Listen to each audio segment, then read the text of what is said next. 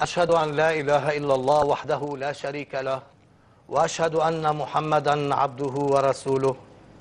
اللهم صل على محمد وعلى آل محمد كما صليت على إبراهيم وعلى آل إبراهيم وبارك وسلم إنك حميد مجيد. مشاهدينا الكرام السلام عليكم ورحمة الله وبركاته. وأهلا وسهلا بكم في هذه الحلقة من برنامج منهاج الطالبين. يقول تعالى في كتابه الحكيم أعوذ بالله من الشيطان الرجيم بسم الله الرحمن الرحيم. وإذا سألك عبادي عني فإني قريب. أجيب دعوة الداعي إذا دعان. فليستجيبوا لي وليؤمنوا بي لعلهم يرشدون. هذه الآية الكريمة وردت في سورة البقرة. وقد جاء ترتيبها مباشرة بعد الآيات التي تتحدث عن فرضية صيام شهر رمضان المبارك مما يعني أن لها علاقة خاصة وعميقة بالصيام. والآية بمفهومها العام تتحدث عن القرب المتبادل بين الخالق وعباده وإذا سألك عبادي عني فإني قريب. كما وتتحدث الآية الكريمة عن موضوع استجابة الدعاء. أجيب دعوة الداعي إذا دعان. وسنتحدث مشاهدينا الكرام في هذه الحلقة من برنامج منهاج الطالبين حول موضوع الدعاء واستجابة الدعاء وفلسفة الدعاء وشروطه وبركاته. واسمحوا لي, واسمحوا لي في البداية أن أرحب بالضيوف الكرام الأستاذ فلاح الدين محمد. دلل أهلا نحن والحمد لله قد دخلنا في العشرة الثانية من شهر رمضان المبارك. وهذه العشرة وصفت في حديث الرسول بالمغفرة. يقول الرسول في حديثه الشريف شهر رمضان أوله رحمة وأوسطه مغفرة وآخره عتق من النار. وكما نعلم جميعا فإن هذا الشهر هو شهر الدعاء. فأرجو من الأستاذ فلاح الدين أن يحدثنا عن مفهوم الدعاء وتعريفه ونحن نعيش في هذه الأيام المباركة والتي تعتبر موسما خاصا لاستجابة الدعاء. أعوذ بالله من الشيطان الرجيم. بسم الله الرحمن الرحيم. الدعاء لغة هو الطلب. وأيضا الدعوة أو النداء. فمصطلحا في العبادة أن الإنسان يتوجه إلى الله سبحانه وتعالى ويناديه ويناجيه ويطلب حاجاته منه. فالدعاء هو ليس فقط أن أتكلم بلساني وإنما قلبي يجب أن يكون جاهزا مستعدا يكون مضطربا فيه قلق.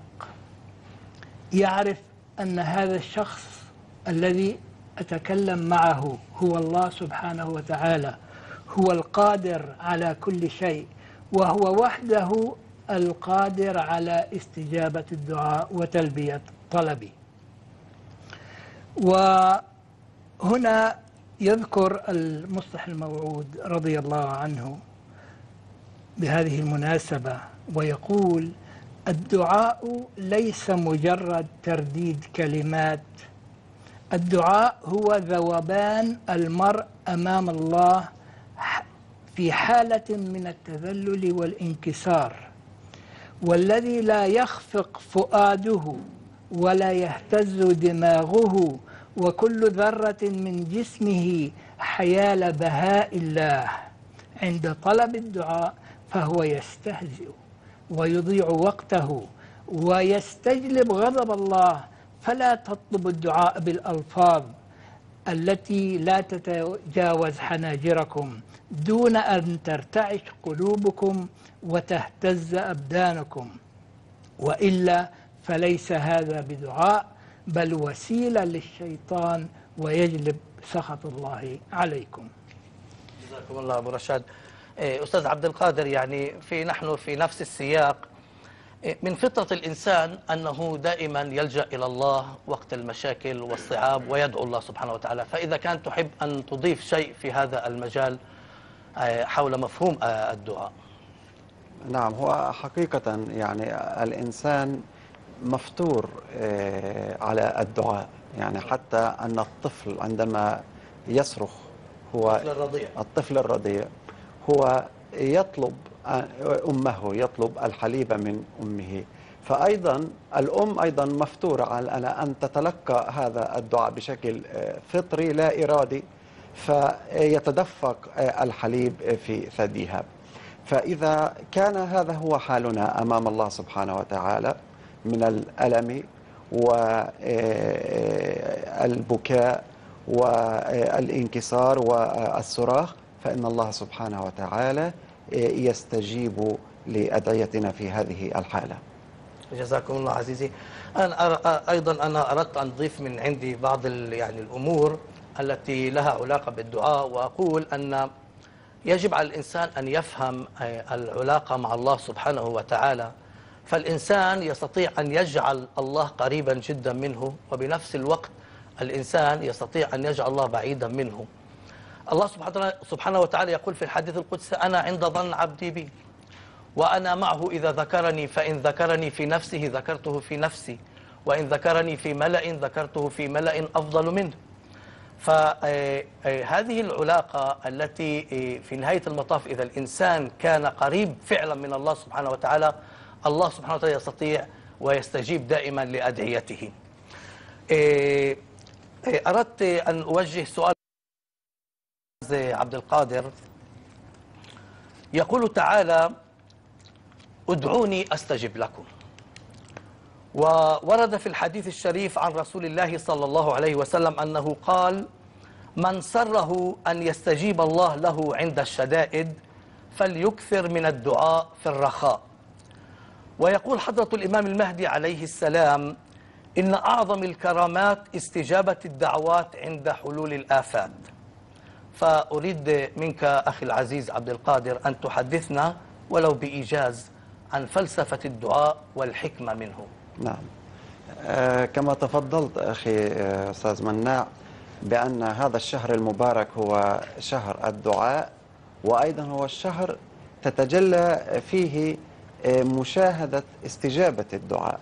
وهذه النقطة مهمة جدا عندما نتحدث عن الدعاء الحقيقي. فربما يمن الله سبحانه وتعالى علينا وتتنزل آه، أفضاله واستجابة الأدعية في هذا الشهر المبارك. أبواب السماء تكون مفتوحة. مفت... نعم. الحقيقة يعني أن الدعاء هو وسيلة للاتصال بين العبد والمعبود بين الخالق والمخلوق. هذه الوسيلة سهلة جدا. متيسرة أو متيسرة للجميع.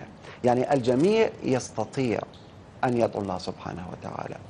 الفقير ال- الغني آه، الضعيف آه، القوي آه، حتى المشلول حتى الذي لا يستطيع أن يستخدم لسانه فيدعو الله سبحانه وتعالى في قلبه كما تفضل أخي أبو رشاد.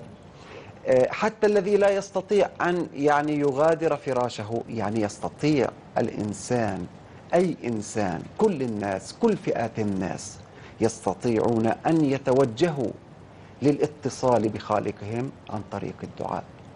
إذا الأمر لا يحتاج إلى مهارات لا يحتاج إلى طاقة لا يحتاج إلى قوة لا يحتاج إلى مال فقط نتوجه لله سبحانه وتعالى. لأن الله سبحانه وتعالى يقول أمن يجيب المضطر إذا دعاه. لم يحدد الله سبحانه وتعالى من هو هذا المضطر هل هو مسلم أم غير مسلم. الله سبحانه وتعالى يستجيب دعاء المضطر سواء بغض النظر عن دينه عن معتقده عن مذهبه. آه، ما دام هذا المضطر يتوجه إلى الله سبحانه وتعالى بألم وحرقة والتياع فإن الله سبحانه وتعالى يستجيب آه، دعاءه. إذا فلا تقلق أيها الداعي المضطر. مهما كانت حاجتك مهما ألم بك من هم وغم ومصائب مهما كان آه، فقرك مهما كان جوعك مهما كان مرضك ولو كان مزمنا مهما كانت المشاكل والتحديات التي تحيط بك وتبدو لك بأنها لا يمكن أن آه، تتخلص منها. فإن الله سبحانه وتعالى يفعل المعجزات. إن الله سبحانه وتعالى القادر الغني يسد حاجات العبد.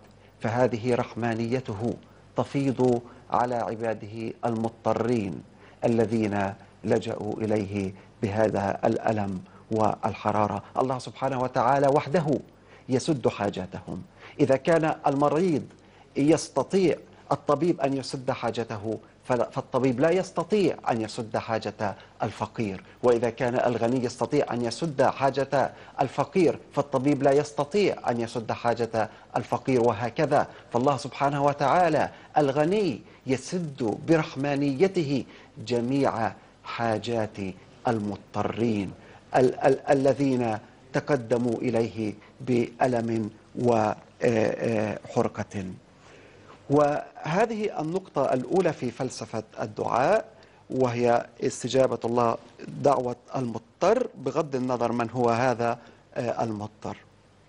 النقطة الثانية في فلسفة الدعاء وهي أننا بالدعاء نستطيع أن نصل إلى إلى الله سبحانه وتعالى. نحن نستعين بالدعاء حتى نحصل على قربه حتى نحصل على محبته. الدعاء بالدعاء يشعر الإنسان كم هو ضعيف كم هو مقصر. فبالدعاء هو يستعين بالله سبحانه وتعالى على أن يعينه على آه، تقصيراته. وبالتالي الداعي هو يسلك هذا السلم الذي به يستطيع أن يصل إلى الله سبحانه وتعالى. وبالتالي بالدعاء تحدث الثورة الروحانية. يحدث الانقلاب الروحاني في حياة المؤمن الداعي. هذا الانقلاب هو الذي يوصل الإنسان بالله سبحانه وتعالى بحيث يصبح قريبا منه سبحانه وتعالى. وهذا الدعاء هو الذي أحدث انقلابا في الحياة البشرية. عندما جاء الأنبياء وعلى رأسهم وأفضلهم محمد صلى الله عليه وسلم إنما أحدث الانقلاب في حياة الناس. هذا الانقلاب الروحاني أحدثه بالدعاء بالدعاء بركة الدعاء. وبب... طبعا وببركات الدعاء. الذي احيا الأموات أموات القلوب الذي أخرجهم من الظلمات إلى النور. هذه الثورة الروحانية التي حدثت في زمن كل نبي من الأنبياء. إنما هي كانت بفضل الدعاء. وبعثة الرسول صلى الله عليه وسلم إنما كانت في مقدمتها وسبقها دعاء إبراهيم عليه السلام. نعم. إذا في بالدعاء نستطيع أن نصل إلى الله سبحانه وتعالى. نستطيع أن نحصل على قربه. ولذلك الله سبحانه وتعالى يقول وإذا سألك عبادي عني فإني قريب. فبالدعاء نحصل على هذا القرب منه سبحانه وتعالى. أنا أريد أبو رشاد وأخي عبد القادر آه، أن نركز على موضوع رمضان وعلاقة الصوم ورمضان بالدعاء. يعني فيعني كيف على الإنسان أن يستغل هذا الشهر الفضيل؟ ويتوجه إلى الله بالدعاء. آه، تفضل أبو رشاد إذا كان عندك آه، شيء تحب أن تقوله في هذا الموضوع. نعم. من نعم الله سبحانه وتعالى أنه جعل لنا عبادات وقال سبحانه وتعالى وما خلقت الجن والإنس إلا ليعبدون ففي كل عبادة نجد هنالك أدعية. ومن عباداتنا في هذه الأيام هي الصلاة والصيام. فشهر رمضان سواء كان في بدايته أو وسطه أو نهايته كله عبادة. وكل لحظة فيه دعاء. أن الإنسان يطلب القرب من الله سبحانه وتعالى. فالله سبحانه وتعالى موجود وهذا بنفسه الله سبحانه وتعالى شجع المؤمنين والمسلمين بأنني قريب وقد ذكر هذا القرب خاصة في في رمضان. وإذا سألك عبادي عني فإني قريب أجيب دعوة الداعي إذا دعان فليستجيبوا لي وليؤمنوا بي لعلهم يرشدون. فالحمد لله الحمد لله تعالى أنه أتاح لنا هذه الفرصة عبادة الصيام والصلاة الصلاة قيام الليل وشكره. وهنالك القسم الأخير من رمضان وهي الاعتكاف في العشر الأواخر من رمضان التي كلها عبادة وكلها تقرب إلى الله سبحانه وتعالى. نسأل الله تعالى أن يفيدنا في هذا الشهر الكريم. أستاذ عبد إذا عندك أشياء؟ أنا أريد أن يعني أوجه أستاذ عبد لسؤال آخر. سيد الإمام المهدي عليه السلام ذكر أنه الإنسان في شهر رمضان عليه أن يدعو بدعاء خاص وهو دعاء أن يخلصه الله سبحانه وتعالى من الذنوب. وإذا كان ممكن أن تلقي الضوء على هذا الموضوع يعني. آه الحقيقة آه الله سبحانه وتعالى يقول وإذا سألك عبادي عني فإني قريب أجيب دعوة الداعي إذا دعان فليستجيبوا لي. هنا استجابة فليستجيبوا لله يعني يعني يلبوا نداء الله سبحانه وتعالى يعني يلتزموا بأوامر الله سبحانه وتعالى. بالشروط الخاصة بالصوم. ب ب نعم. بالصوم بالأوامر التي طبعا يعني بالصوم وغير الصوم يعني يعني بأوامر القرآن. هناك أحكام وأوامر قد شرعها القرآن. لابد من الالتزام بها برمضان أو بغير آه، رمضان. لكن لا يمكن أن نؤدي هذه الأوامر ونطيع أوامر الله سبحانه وتعالى بدون التطهر من الذنوب. من هنا فلا بد بداية من الدعاء والتركيز في الدعاء. ومجاهدة النفس في الدعاء بأن الله سبحانه وتعالى يوفقنا بأن نتطهر من ذنوبنا. لأنه إذا تطهرنا من ذنوبنا من كل الذنوب طبعا الكبيرة والصغيرة. في هذه الحالة ليس لنا حاجة أن ندعو الله سبحانه وتعالى ليحقق لنا آه، ضروراتنا الشخصية.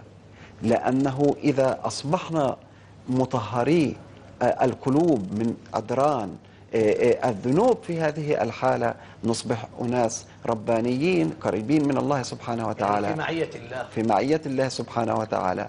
فإن الله سبحانه وتعالى يتجلى لنا بتجلياته فتهبط أنواره على قلوبنا. وفي هذه الحالة يصبح الإنسان العبد في هذه المرحلة مستجاب آه، الدعاء. وهذه الغاية. إذا يعني لا يمكن أن نخطو في فعل آه، الحسنات والخيرات والتزام بأوامر الله سبحانه وتعالى دون أن نكون قد تخطينا وتطهرنا من جميع آه، آه، ذنوبنا سواء كانت الصغيرة والكبيرة وطبعا يعني هذه الذنوب يعني كل إنسان به ضعف معين.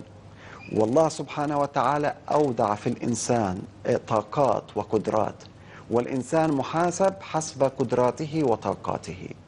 فعندما ندعو الله سبحانه وتعالى فالدعاء يعني أن نستغل ما وهبنا الله سبحانه وتعالى من طاقات وقدرات حتى نتقرب منه حتى نتطهر ونتخلص من الذنوب. لابد أن نجاهد أنفسنا ونكدح. وطبعا هذه المسألة يعني فيها ألم فيها معاناة فيها مشقة فيها مكابدة يعني ومجاهدة. يعني ليس الأمر سهلا. يعني أنت تحتاج إلى عمل وجهد. وبهذا العمل وبهذا الجهد يتقدم المؤمن. الصائم. طبعا والجهد والمجاهدة تحتاج إلى صبر وبهذا يزداد الإيمان ويرتفع ويرتقي. نعم. ونحن في شهر رمضان المبارك ندعو الله سبحانه وتعالى أن يتقبل أدعيتنا. إيه، سؤالي إلى الأستاذ أبو رشاد. ورد في الحديث الشريف عن رسول الله صلى الله عليه وسلم أنه قال لا يرد القضاء إلا الدعاء بمعنى أن الدعاء قد يغير أو يؤخر قضاء الله. وأنا إيه، يعني أطلب منك إذا تفضلت أن تحدثنا عن هذا الموضوع موضوع الدعاء ورد القضاء. القضاء والقدر إيه، هنالك نوعان من القدر أو القضاء. قضاء خير وقضاء شر. ولا يعلم الإنسان ما ما هو مقدرا له من خير أو شر. فيتوجه إلى الله سبحانه وتعالى إذا كان هنالك قدر قدر خير له أن يعجله له ويؤتيه فيه. وإن كان هنالك قدر شر أن يجنبه ويبعد هذا عنه.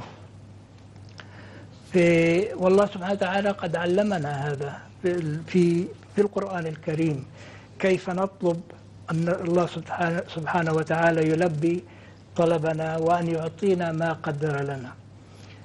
هنالك كثير من الأمور الإنسان بحاجة إليها. لا حاجة أن يتوجه بالدعاء لطلبها أو الابتعاد عنها. إذا كانت ظاهرة والله سبحانه وتعالى وضع القوانين والأسباب كيف أتبعها. مثلا أنا عطشان فأذهب أخذ كأس من الماء وأشرب. أنا جوعان أذهب وآكل. أنا بحاجة معينة أعرف ما هي الوسائل والسبل التي الله سبحانه وتعالى يسرها لي أستعملها وأقضيها لنفسي. وحتى في الدعاء نفسه يجب أن أستعمل الوسيلة أول لا أركن على الدعاء فقط. يجب أن تكون الوسيلة أتخذ جميع الاحتياطات وما يسره الله لي من وسائل لتحقيق هذا الهدف. ومع ذلك أستعمل الأسباب أولا ثم آه، أدعو كما قال سيدنا عمر لأحد الصحابة الذي كان يدعو الله أن يشفي ناقته الجرباء فقال له ضع مع الدعاء قليلا من القطران فتشفى ولكن فقط أريد نعم. أن أضيف يعني نأخذ بالأسباب وندعو ونسلم بالنتائج. يعني نكون متوكلين على الله, الله سبحانه, سبحانه وتعالى. يعني نرضى بالنتائج سواء كانت آه، سيئة أو كانت آه، يعني آه، جيدة أو كما نريد. نعم. والله سبحانه وتعالى هو يقدر. هل يسمع دعاءنا أو لا؟ وإذا رأى أن قضاءه المبرم يجب أن يجري فيجري ونحن نقبله. بكل رحابة الصدر. جزاكم الله. آه، أخ عبد القادر تحب أن تضيف شيء آخر؟ نعم. هو حقيقة يعني ال- الدعاء هو أيضا قدر آخر. يعني الله سبحانه وتعالى ربما يعني تكون هناك أمور مقدرة. لذلك آه، الدعاء يرد آه، البلاء. أي نعم. فالدعاء هو قدر قد يلغي قدر آخر. يعني ومن هنا لابد دائما بكل الأحوال آه، أن ندعو الله سبحانه وتعالى. حتى إذا كان القدر قد نفذ بمشيئة الله سبحانه وتعالى وحصل مثلا البلاء فإن الدعاء يزيل هذا البلاء حتى بعد وقوعه. جزاكم الله عبد القادر. آه، سيدنا المصلح الموعود رضي الله عنه عندما تحدث عن الدعاء واستجابة الدعاء وضع شروطا لاستجابة الدعاء. وشروط كثيرة يمكن إذا تحدثنا عنها بإسهاب يمكن تستغرق حلقة كاملة. ولكن أنا أطلب منك أن تتحدث بإيجاز عن الشروط الرئيسية والمركزية لاستجابة الدعاء. آه، قبل أن أبدأ يعني بهذا الموضوع آه، أريد أن يعني أذكر بأن بأنه عندما ندعو الله سبحانه وتعالى أحيانا آه، لا تستجاب آه، الأدعية أو ربما آه، تتأخر. فيصيب اليأس والإحباط الداعي. وهذه نقطة مهمة جدا تكون يعني هذا اليأس والإحباط هو نتيجة وسوسة من الشيطان وخدعة من الشيطان. لأنه إذا لم يستجب دعاءنا من الله سبحانه وتعالى فإما يكون هناك خلل في آه، شروط الدعاء أي أن شروط الدعاء غير مكتملة أو أن الله سبحانه وتعالى يريد أن يؤخر استجابة الدعاء لحكمة هو يعلمها. وعسى يعني أن تكرهوا شيئا وهو خير لكم. لأننا لا نعرف أين الخير؟ وربما كما في حديث آه، الرسول صلى الله عليه وسلم أن الإنسان يستعجل آه، بطلب آه، الدعاء.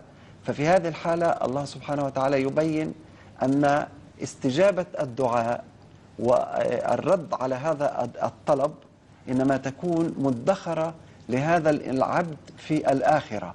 حتى حتى أنه يقول يعني يا ليتني لم يعجل لي شيء من دعائي في الدنيا. يعني يا ريت إنه ربنا أجل استجابة الدعاء في آه، الآخرة. أي نعم. آه، هذه النقطة المهمة جدا ونحن نتوجه إلى الله سبحانه وتعالى بقلب صادق ومخلص وبحرارة وألم. لابد آه، أن ننتبه إليها حتى لا ينفذ الشيطان إلينا من خلالها وبالتالي نترك أو نبتعد عن الدعاء.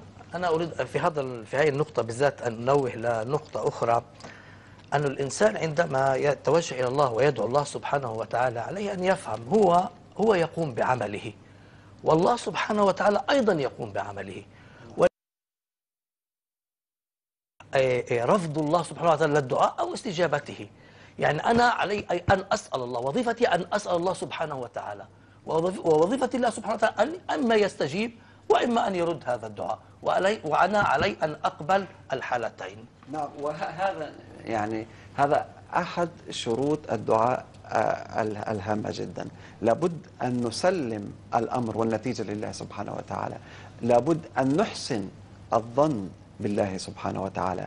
لابد أن نكون موقنين بأن الله سبحانه وتعالى هو مستجيب الدعاء وأن الله سبحانه وتعالى دائما يريد لنا الخير. قد لا نعلم آه، نحن أيضا الخير لنا كما يعني آه، يشبه المسيح الموعود عليه السلام آه، ذلك الطفل الذي أمسك بأفعى ثم جاءت أمه فأخذت الأفعى منه وأعطته لعبة. ربما هذا الطفل يضطرب ولكنه لا يعرف هذا الطفل ما ما هو الشيء الذي في صالحه. وهكذا آه، نحن لا- نحن نعلم لا نعلم. الله سبحانه وتعالى هو علام الغيوب وهو العليم بحالنا وأحوالنا ويعلم ما هو الخير لنا. الشرط الأول في استجابة الدعاء وربما يعني هذه الأمور بالترتيب. يعني عندما نتوجه إلى الله سبحانه وتعالى. طبعا بقلوبنا آه، نطلب منه الدعاء. لابد أولا أن نحمده سبحانه وتعالى. يعني لابد أن نستشعر آه، نعم الله سبحانه وتعالى. وإن تعد تعدوا نعمة نعمة الله لا تحصوها. آه، وأسبغ علينا من نعمه الظاهرة والباطنة. فنعم الله سبحانه وتعالى التي تتنزل برحمانيته. تتنزل بدون مقابل آه، على عباده. فالله سبحانه وتعالى الذي أنزل علينا آه، ال- الماء وجعلنا من الماء كل شيء حي والذي أعطانا آه، الهواء والأكسجين الذي أعطانا المال وأعطانا البنون. كل هذه نعم الله سبحانه وتعالى لابد أن نستشعر هذه النعم بأن الله سبحانه وتعالى متفضل آه، علينا. إذا نحمد الله سبحانه وتعالى على هذه النعم ونستشعر بها ومن ثم نسبحه سبحانه وتعالى. فهو آه، الله سبحانه وتعالى المنزه آه، عن النقص والعيب. وهذه يعني وهذا الدعاء لماذا نحن نستحضره؟ لأنه نريد أن يعني نعيش في هذه الحالة.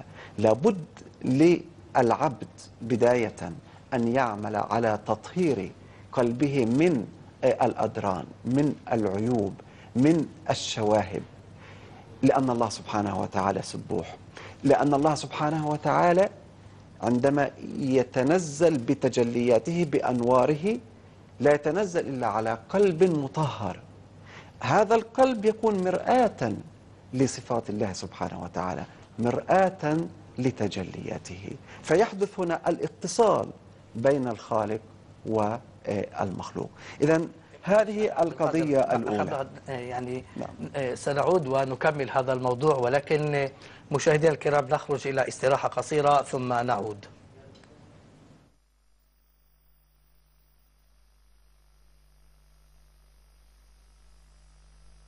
ربنا اغفر لنا ذنوبنا وادفع بلايانا وكروبنا.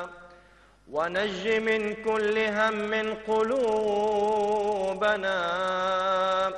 وكفل خطوبنا وكن معنا حيثما كنا يا محبوبنا واستر عوراتنا وآمن روعاتنا إنا توكلنا عليك وفوضنا الأمر إليك.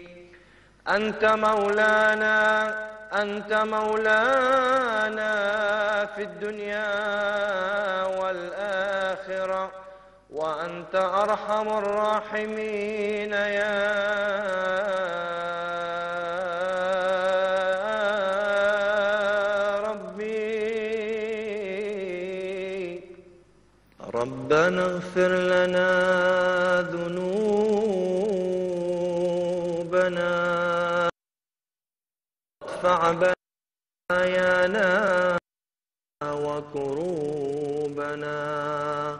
ونج من كل هم قلوبنا. وكفل خطوبنا وكن معنا حيثما كنا يا محبوبنا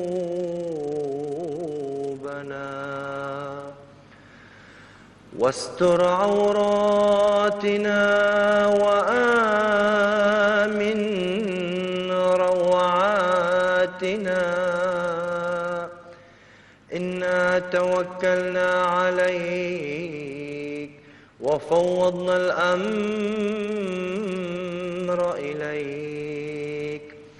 أنت مولانا أنت مولانا. في الدنيا والآخرة وأنت أرحم الراحمين يا ربي.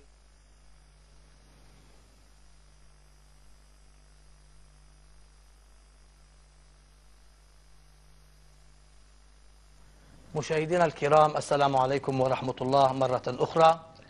كنا في الحديث عن موضوع استجابة الدعاء وقد آه، وجهت سؤال للأستاذ عبد القادر حول الشروط آه، التي يجب أن تتوفر ليكون دعاؤنا مستجاب. وبدأ حديثه وهو يستمر في آه، الإجابة على هذا السؤال. تفضل الأستاذ عبد القادر. يعني اولا لا- كما ذكرت أريد أن أذكر فقط بأن الدعاء يبدأ بالحمد لله سبحانه وتعالى وبالتسبيح لأن آه، ذلك يذكرنا بنعم الله سبحانه وتعالى ويذكرنا بأن الله سبحانه وتعالى هو منزه وليس كمثله آه، شيء. هذا يجعلنا أن نتخلق آه، بهذه الأخلاق ونعد قلوبنا بحيث تصبح طاهرة من آه، الحقد والضغينة والكراهية. حتى لا يصبح القلب منشغلا بأمور الدنيا. لابد ألا يكون القلب لاهيا. لابد أن يكون القلب منقطعا عن الدنيا حتى يعني يتجلى أو تهبط أنوار الله سبحانه وتعالى وتجلياته على هذا العبد وبالتالي يحدث الاتصال بين العبد وبين الخالق. هذه النقطة الأولى. أنت ذكرت أنه أول شيء علينا أن نحمد الله سبحانه وتعالى ونصلي على رسوله الكريم. هذه النقطة الأخرى التي سأذكرها النقطة الأخرى هي الصلاة على الرسول صلى الله عليه وسلم. آه، لأن آه، الله سبحانه وتعالى يقول يا أيها الذين آمنوا صلوا عليه وسلموا آه، تسليما. وأريد أن أذكر فقط أن المسيح الموعود عليه السلام يقول كنت على يقين أن سبل الله تعالى دقيقة جدا ولا يمكن الاهتداء إليها بدون وسيلة النبي صلى الله عليه وسلم كما يقول الله الله تعالى وأيضا وابتغوا إليه آه، الوسيلة. الصلاة الرسول صلى الله عليه وسلم. من هو الرسول صلى الله عليه وسلم؟ هو العاشق هو المحب وهو المحبوب. عند الله سبحانه وتعالى. لذلك وإذا سألك عبادي عني فإني قريب. يسأل العباد الله سبحانه وتعالى. يسأل من؟ يريد الله سبحانه وتعالى أن يوجهنا إلى الرسول. بسؤالنا لله سبحانه وتعالى يريد أن يوجهنا إلى الرسول صلى الله عليه وسلم ليبين لنا الطريق التي توصل توصلنا بالله سبحانه وتعالى. لأن الرسول صلى الله عليه وسلم هو الخبير بهذه الطريق هو العارف هو المجرب هو الأسوة هو المطبق لتعاليم وأحكام الكتاب الكامل القرآن الكريم. فعندما نصلي على الرسول صلى الله عليه وسلم إنما نصلي على حبيب الله سبحانه وتعالى. وليست الصلاة مجرد تقليد كما يقول المسيح الموعود عليه السلام ليس مجرد أن نقول اللهم صل على سيدنا محمد نرددها باللسان يعني. وقلوبنا مشغولة في أمور أخرى ونعد كم مرة صلينا ليس ليس هذا هو المقصود بل عندما نصلي على الرسول صلى الله عليه وسلم نتذكر آه، حسنه ونتذكر إحسانه نتذكر جمال أخلاقه. نتذكر سمو مرتبته وعلو شأنه عند الله سبحانه وتعالى. نتذكر أنه جاء برسالة السماء ونتذكر انتصاراته إيه، صلى الله عليه وسلم وبالتالي انتصار إيه، الإسلام.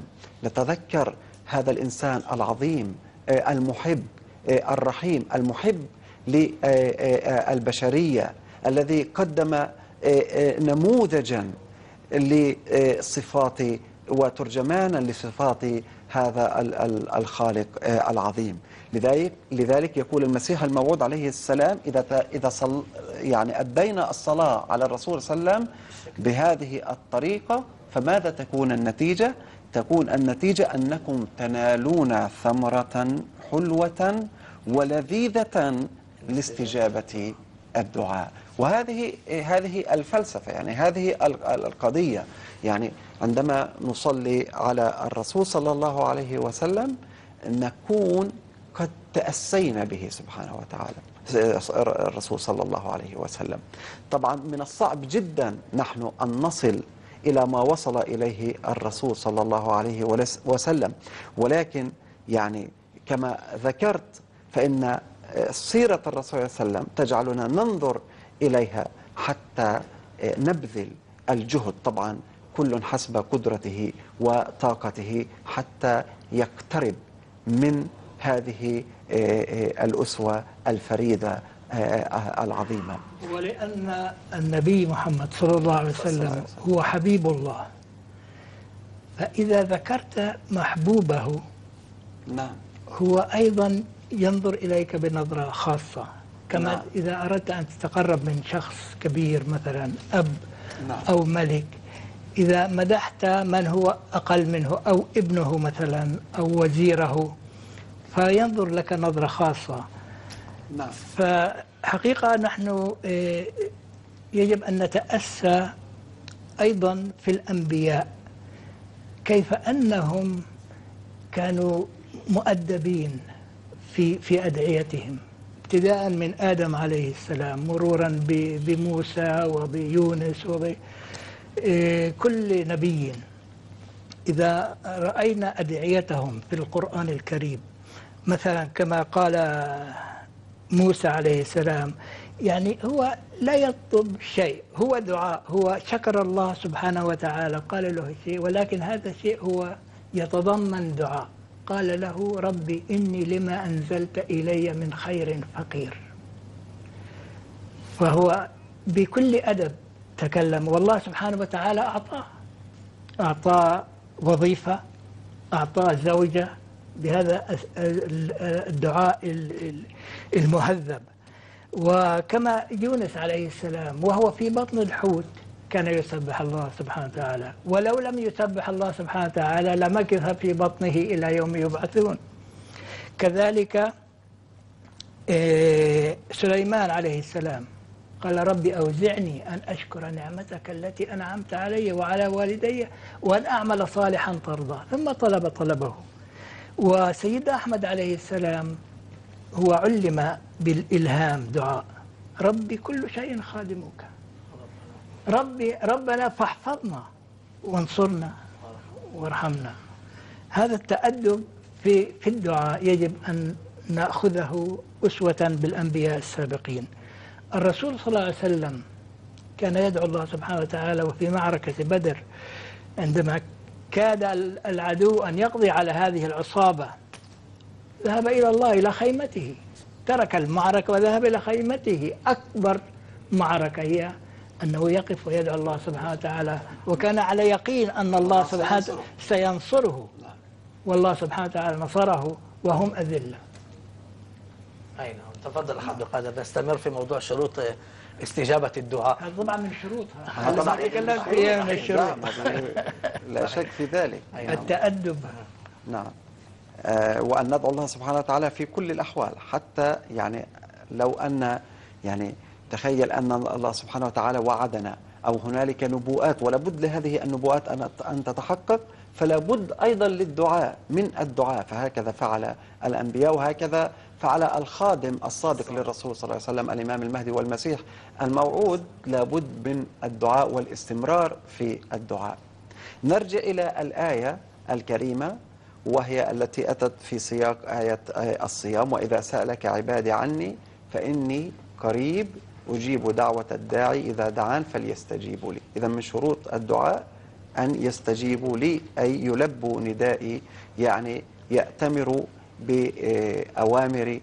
وخاصة يعني في هذا الشهر المبارك أن الإنسان يوسع دائرة حسناته وأعماله وبالتالي هو يتقدم ويزداد إيمانا ويرتقي روحانيا ويتقدم في تطبيق أوامر الله سبحانه وتعالى.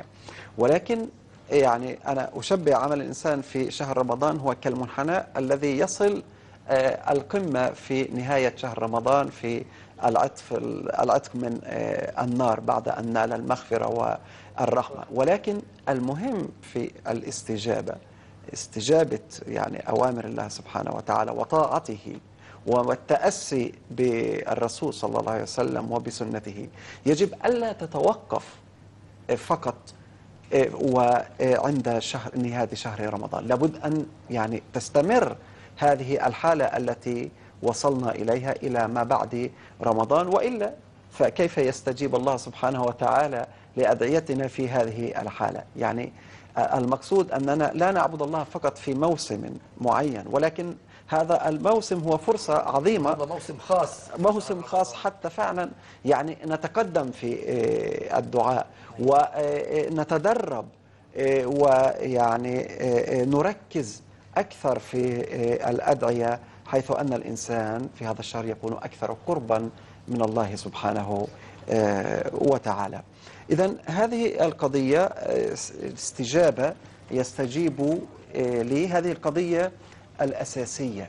ليس فقط يعني الطاعات لا يمكن طبعا أن نؤدي الطاعة لله سبحانه وتعالى قراءة القرآن والتهجد والامتناع عن الطعام والشراب ثم آه، إلى جانب هذه ال- الحسنات آه، نفعل آه، ما يمحو هذه الحسنات.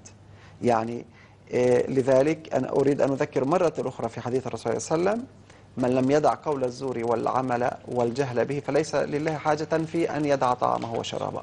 يعني القضية ليست هي آه، الإيمان يعني أو الالتزام ببعض أوامر أو آه، آه، شروط الصيام لابد أن نأخذها جملة واحدة وإلا يفسد الصيام. وإذا فسد الصيام فكيف يستجاب الدعاء في هذه الحالة؟ يجب أن نبتعد عن الكذب وقول الزور في المعاملات في آه، ال- المحاكم. يعني الله سبحانه وتعالى يعني اعتبر قول الزور من آه، الشرك.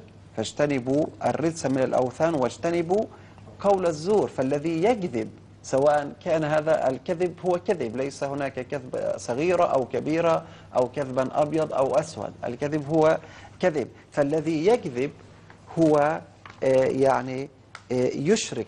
بالله سبحانه وتعالى. من هنا لابد أن نكون حذرين من نزغات آه، الشيطان حتى لا نقع في مثل آه، هذه آه، المعاصي الكبيرة.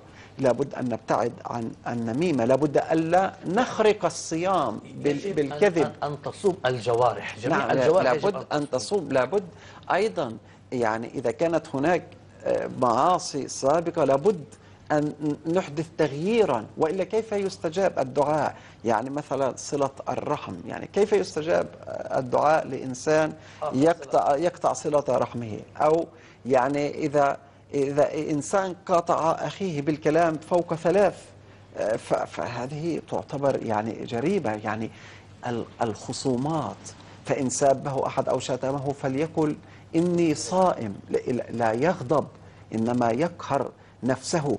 كل هذه الأمور هي تندرج في يستجيبوا لي فليستجيبوا لي. ليستجيب لكل أوامر الله. ليست الأوامر التي هي سهلة على النفس إنما للأوامر الصعبة إنما الطاعة في المنشط والمكره وليس فقط في ال- المنشط. فليستجيبوا لي وليؤمنوا بي. لابد أن فعلا أن نكون متيقنين بأن الله سبحانه وتعالى مجيب آه، الدعاء. لابد أن نحسن الظن بالله سبحانه وتعالى. وكما قلنا حتى لو أن الله سبحانه وتعالى لم يستجب الدعاء فإنما هو خير آه، لنا. ولذلك آه، يقول المسيح الموعود عليه السلام إن, إن الذي لا يوقن وقت الدعاء أن الله قادر على كل شيء إلا ما استثناه آه، في وعده فليس من جماعته. يعني عندما ندعو الله سبحانه وتعالى لابد أن نكون متيقنين بأن الله سبحانه وتعالى هو آه، آه، يحدث المعجزات ويغير الأمور التي تبدو في ذهننا أو في أذهاننا أنها صعبة ومستحيلة. فالله قادر على كل شيء. المهم نحن أن كيف نحقق آه، شروط الدعاء حتى نكون يعني آه، آه، من آه، ال- الم- المقبولين. إنما يتقبل الله تعالى من المتقين. لابد يعني أن يعني تتحصل فينا التقوى. لابد أن نلبس لباس التقوى. فالله سبحانه وتعالى في هذه الحالة لا يمكن أن يرد عباده آه، خائبين. لا يمكن في أي حال من الأحوال. لأن الله سبحانه وتعالى يعني إذا, يعني إذا نحن غير متيقنين بأن الله يستجيب أدعيتنا فلماذا ندعو؟ نعم. يعني وحديث الرسول واضح في هذا الموضوع. يعني حديث الرسول يتحدث عن استجابة الدعاء ويقول بأن الله سبحانه وتعالى بما معناه أن الله يستحي أن يرفع عبده يده إليه يعني طالبا الدعاء ويرده خائبا. ولكن القصد أنه يكون هذا العبد في حالة الاضطرار والاضطراب والبكاء والانكسار إلى الله سبحانه وتعالى. نعم هو ال- ال- القضية أن يعني الشيطان دائما لا يكل ولا يمل. يعني يعني يأتي للإنسان بأفكار من هالنوع ويشعره بأنه. نعم وربما إنسان يعاني من قضية معينة ويدعو الله سبحانه وتعالى لفترة طويلة وعشرة آه، ربما سنين آه، طويلة. ولم يستجاب دعاء فهنا يدخل الشيطان له من هذا ال- الباب ليبذر في نفسه بذور اليأس والإحباط. الله سبحانه وتعالى لا يمكن أن ينسى عبده. كذلك من آه، شروط الدعاء آه، أن الداعي لابد أن يركز على صفات الله وأسماء الله سبحانه وتعالى.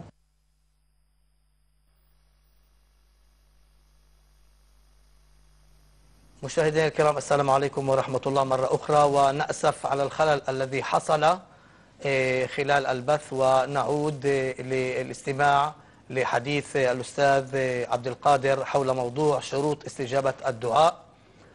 تفضل أستاذ عبد القادر. الحالة التي كما ذكرنا أن الحالة التي يكون عليها الداعي أن يكون في حالة من الألم والحرقة بحيث يعني يكون آه، آه، متواضعا آه، يبكي على عتبة الله سبحانه وتعالى.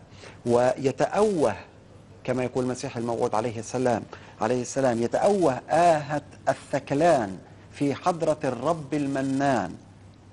وطلب استجابة هذا الدعاء من الله الرحمن خاشعا مبتهلا وعيناه تذرفان فيستجاب دعاؤه ويكرم مثواه ويعطى له هداه ويقوى له قلبه قلبه الذي كان أوهن من بيت العنكبوت. جزاكم الله أبو رشاد بتحب تضيف شيء حول موضوع نعم. استجابة الدعاء؟ نعم هذا موضوع آه، الدعاء طويل جدا.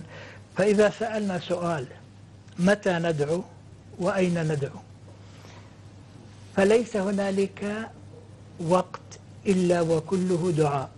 منذ ولادة الإنسان حتى وفاته وفي كل مناسبة يمر بها إذا خرجت من بيتك تدعو حتى ترجع إلى بيتك إذا ذهبت للنوم وإذا خرجت من النوم إذا دخلت أي مكان أو خرجت منه. أي كل وقت وكل زمن وكل مكان هو للأدعية. وما أكثر المناسبات عندنا في في ديننا في الحج مثلا في المشاعر ال- في كل مكان هنالك أدعية. في في رمضان في ليلة القدر في القيام في كل وقت.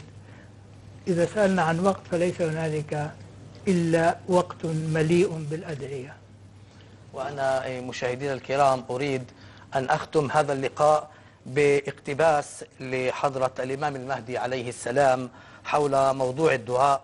يقول حضرته لا تظنوا وتقولوا في أنفسكم إننا أيضا ندعو كل يوم وأن, صلا وأن الصلاة التي نصليها إنما هي الدعاء. ذلك أن الدعاء الذي ينبع نتيجة المعرفة الحقيقية ونتيجة فضل الله تعالى يتميز بصبغة خاصة وكيفية مختلفة تماما. إن ذلك الدعاء قادر على الإفناء. إنه نار تذيب القلب. إنه قوة مغناطيسية تجذب رحمة الله. إنه موت إنه موت يهب الحياة في نهاية المطاف. إنه لسيل عارم إلا أنه يتحول إلى السفينة في النهاية. وبه يستقيم كل أمر قد فسد. وبفضله يتحول كل سم إلى الترياق في آخر الأمر. في نهاية هذه الحلقة أشكر آه، آه، الأستاذ آه، فلاح الدين محمد والأستاذ عبد القادر مدلل. وندعو الله سبحانه وتعالى أن يتقبل أدعيتنا وقيامنا وصيامنا. ربنا لا تزغ قلوبنا بعد إذ هديتنا وهب لنا من لدنك رحمة إنك أنت الوهاب. وإلى أن نلتقي في حلقة جديدة. نستودعكم الله والسلام عليكم ورحمة الله وبركاته.